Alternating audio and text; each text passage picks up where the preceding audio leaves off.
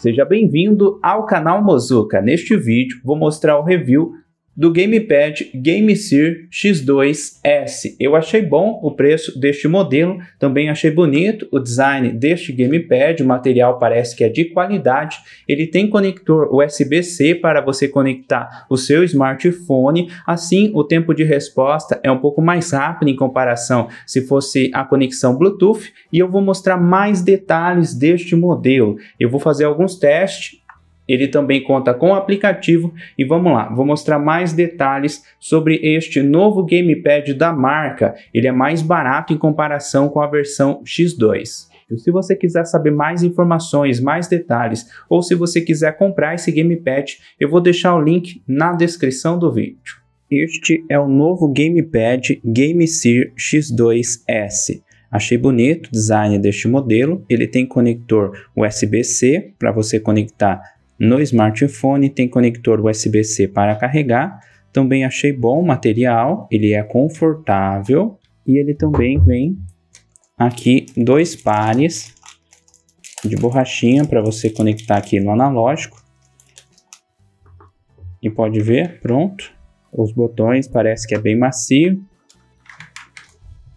E agora eu vou conectar o smartphone. Aqui no manual ele conta com vários idiomas e também tem o idioma em português. Ele fala mais alguns detalhes sobre o gamepad, também fala como você pode conectar, conectar o telefone no controlador e segurar o botão G e também o botão S por aproximadamente 3 segundos. Ele também conta com o aplicativo, aqui mais algumas informações. Eu baixei o aplicativo, este modelo é compatível com este aplicativo, você pode escanear o QR Code no manual eu vou mostrar o teste para vocês no smartphone Poco X5 Pro. Eu vou conectar o smartphone aqui no controlador. Pode ver que ele mostra aqui os jogos. Primeiro eu conectei aqui no USB, ele até apareceu aqui a mensagem pedindo permissão. Eu vou concordar. Eu conectei aqui primeiro no USB-C e agora eu vou colocar aqui o smartphone no controlador. Vou segurar aqui os dois botões por alguns segundos. Ele pediu aquela permissão que pediu aquela hora e pronto, já conectou e pode ver que ele está aceso aqui a luz azul no controlador e eu já conectei o smartphone.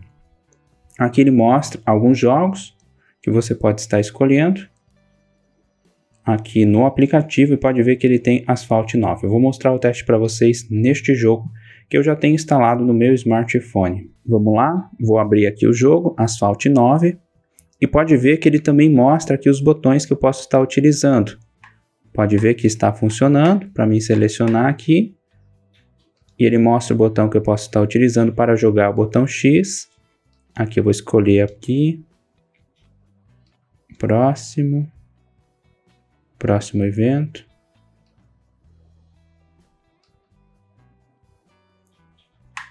Correr mesmo assim e pode ver que ele está funcionando bem.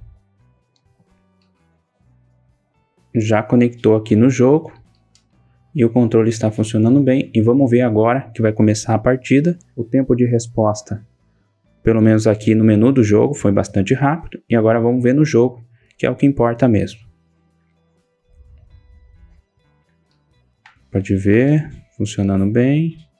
Prendendo aqui os comandos, aí também está funcionando, ó. Ele também mostra aqui no controle já os comandos que eu posso estar utilizando.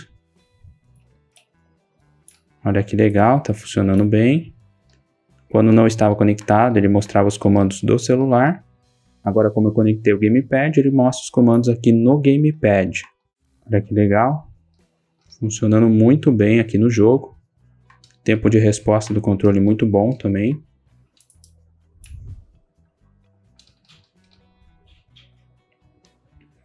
E é esse pequeno teste que eu queria mostrar aqui para vocês no Asphalt 9.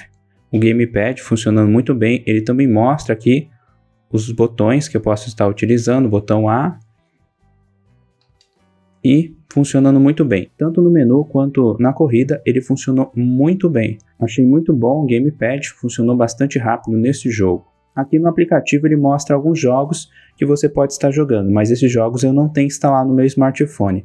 Você pode vir aqui nessa opção, ele vai mostrar aqui mais configurações que você pode estar configurando no Gamepad e também mostra aqui os jogos que eu já tenho instalado no meu smartphone.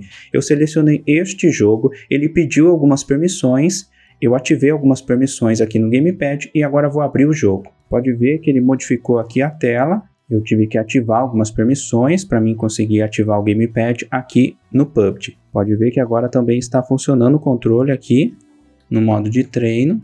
Está funcionando aqui a mira, aqui para ver o mapa. Os comandos aqui estão todos funcionando. Ó, tem até esse botão aqui que eu tirei print da tela, não sabia dessa opção. E eu consigo até editar aqui o print que eu acabei de tirar. Bem legal essa opção aqui do controle. E pode ver que ele também está funcionando aqui no PUBG depois que eu configurei no aplicativo GameSeer. Esse é mais um teste que eu queria mostrar para vocês. Outro jogo que eu estou conseguindo jogar. Eu achei aqui para girar a câmera, ele é, é muito rápido, meio que vira de uma vez, não é suave. Mas fora isso, achei que está funcionando bem. O tempo de resposta dos controles também muito rápido, sem nenhum atraso já que ele tem a conexão aqui USB-C, não tem nenhum tipo de atraso, bastante rápido.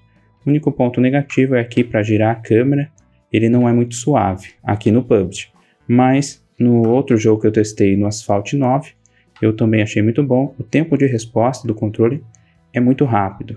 Esse é um pequeno teste que eu queria mostrar para vocês aqui neste outro jogo. Também está funcionando bem.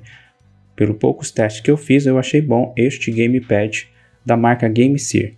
Esse teste que eu mostrei para vocês é no smartphone Poco X5 Pro que está com o sistema operacional Xiaomi HyperOS. Agora eu vou mostrar outro teste em outro smartphone com outro sistema operacional. Vamos ver se ele vai conectar rápido também.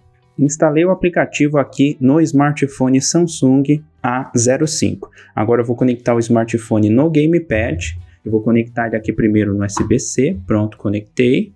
Ele também pede algumas permissões. Esse smartphone é um pouco maior em comparação com o modelo Poco X5 Pro. Mesmo assim, eu consegui conectar ele aqui no Gamepad, pode ver que ele está conectado. Eu vou selecionar aqui o jogo, Asphalt 9. Ele pede algumas permissões, vou permitir. Pronto, abriu aqui o jogo e também está funcionando normalmente. Achei bem legal, o Gamepad também funcionou nesse smartphone da Samsung. E olha que legal, ele também tem esse botão que volta para a página inicial e você também consegue selecionar aqui os ícones com o Gamepad aqui na página inicial do smartphone. São esses alguns detalhes sobre este Gamepad e ele está funcionando bem nos dois smartphones que eu testei. Este modelo é compatível com Android, que tem conector USB-C, ou iPhone da geração 15, que tem conector USB-C. Eu fiz o teste em dois smartphones Android e funcionou muito bem. Sobre os valores, ele está custando aproximadamente 200 reais importado, já com as taxas de importação incluso no momento que eu estou gravando esse vídeo. Eu achei bom o custo-benefício deste modelo. Pelos testes que eu fiz, ele funcionou bem. Também achei bonito o design no gamepad os controles funcionam bastante rápido, o tempo de resposta é outro destaque deste modelo. Comenta aí o que você achou desse modelo. Não esqueça do seu like e se você quiser comprar o modelo GameSeer X2S, eu vou deixar o link na descrição do vídeo. Muito obrigado e até o próximo vídeo.